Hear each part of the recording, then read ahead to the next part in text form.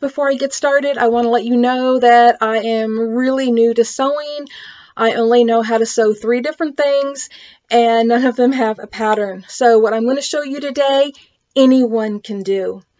So this is the third face mask or face covering video that I have made and as I go along, I learn things that make it easier or better and I really like the one I'm going to show you today. So let me show you the progression. The first one I made was the pleated face mask. Guess what? If you are a beginner, oh my gosh, that's a pain. That is a true headache. I thought there has got to be an easier way. And somebody left me a message and let me know that because of the way that I put the elastic in, which is, well, let me show you on that one, which is through these little tunnels is what I like to call them. So the elastic isn't sewn in. They said there's no need for the pleats because that gathers it, which this one I'm going to show you is a really bad example because um, I made it out of fabric that was too thick. But basically, it gathers it so it doesn't need pleats. So this was my second one that I did, which was, you couldn't get any easier than a rectangle. But you know what? The sides were too fat. They just didn't gather enough, in my opinion. You know, there's really a big, big difference here between the ends. It was just too big. So I came up with a third one that I'm going to show you today. So let's head on over. So the first thing I'm going to do is show you how to make your own pattern. And as you can see, I've cut a piece of cardboard to be five inches across and six inches tall. You'll also notice that I measured down one inch and up one inch on the one side and have drawn a line from the corner to those one inch marks. And what you're going to do is just cut them off. And once you've done that, your pattern is going to look just like this. Now in this next picture, you're going to see on the six inch side, I wrote place on the fold. So that means that you're going to fold your fabric and then you are going to place that edge on the fold before you cut it out. It doesn't matter whether you use scissors or a rotary cutter, just use what you have. And once you open up your piece of fabric, this is what it will look like, and you're going to need two pieces. They can be two pieces that are the same or two different fabrics. Next, you're going to take those two pieces of fabric and put them so that the right sides are facing each other and the wrong sides are on the outside. And then before you sew them, you are going to place two pins about two and a half to three inches apart so that when you sew, you leave that area open so that you can turn this right side out. And now it's time to go over to the sewing machine and sew a seam around the edges, approximately a quarter of an inch to a half an inch from the edge. And remember to back stitch at the beginning and the end just to keep it more secure. And don't forget to leave that opening that was two and a half to three inches. So this is what you've got so far. And the next thing we're going to do is grab a pair of scissors and we're going to go cut those corners off. Now, don't cut all the way down to the stitching, but just cut off that excess because it's going to make it easier when you turn it right side out to make your corners look nice and sharp. And once that's done, it's time to find that opening that you didn't sew up and start turning your mask right side out. And actually, it is really easy to do, as you can see. And while I'm doing this, I thought I would let you know that you can actually make this mask bigger or smaller, depending on your needs, just by making your pattern a little bit bigger or smaller each direction. So now it's time to make those corners look nice. And what I'm using is called a bone folder.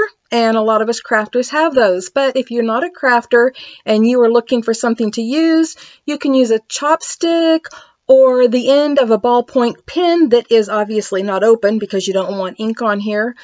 But anything that can get up there and poke those little corners out and make them look nice. Once you're done with that, it's time to smooth everything out, you know, get everything laying the way it's supposed to. And you'll notice on the opening there that it actually folds in nicely to match up with the seams. As you can see, I had to do a little bit more straightening to get everything to lay out exactly like it's supposed to. So take your time and don't panic if it takes a minute for you to get everything lined up and looking the way that it's supposed to. And now it's time to iron it. Make sure that everything is nice and smooth and perfect the way it should be. And once you do that, you have to decide what you're going to do with that opening.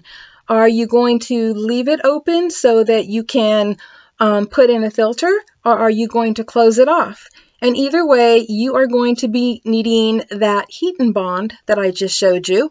And what I'm doing right now is putting a piece of it in there that I'm going to iron in because I'm actually going to be closing off that opening.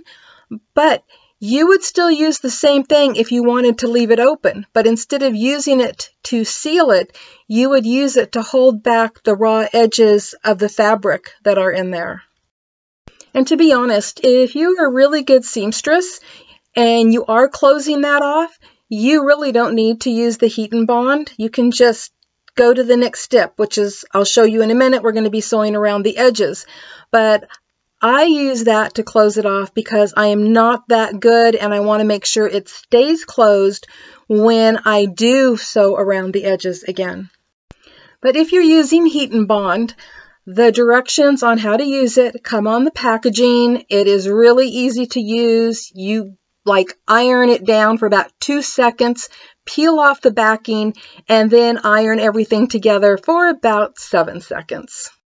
Okay, so now we're ready to head back over to the sewing machine and we are just going to sew around those edges, leaving about a quarter of an inch like you're seeing right there. And that gives it a really nice finished look. Okay, and now that that step is done, and by the way, doesn't that look nice?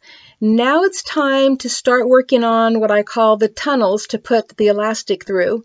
And so what you're going to do is fold over an end approximately 3 fourths of an inch and you're just going to sew right down the same stitching that's already there.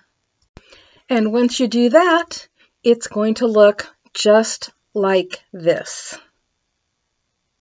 Okay, now that that's done, it's time to put the elastic in. And this is the elastic that I use, and as you can see, it's two millimeter. Um, and I believe I got that at Amazon, but I'm sure you can get it at any fabric store. And I'm using 11 inches for each earpiece. You can use 11 inches or 12 inches. Um, it just depends on your face size and your comfort. Now to thread those elastics through those tunnels, you can use a paper clip or a safety pin. I like using a paper clip and it's just really easy because you just kind of tie it on one end and slide it through that little tunnel. And I know that there are some of you that would have sewn it in or laid it in there before they sewed it.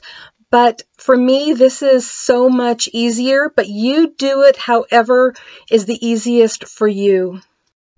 And once you get it in there, the only thing left to do is tie it in a knot. And the nice thing is you can untie it again later if you want, if you find out that it's not the right size. But this is how I do the knot. As you can see, it's, it's double and then you pull the ends and you stretch it. And you'll know if you're stretching it the right way because one way you pull it, it's going to get tight. The other way, it won't. So just make sure that you're pulling it and so the knot becomes tight. And then all you have to do is slide that into the little tunnel and no one's ever going to see it or feel it. And now I'm just going to add the elastic the same way to the other side and we will be done. If you don't have elastic, you can use shoelaces or you can cut a skinny piece of t-shirt material to use in place of the elastic.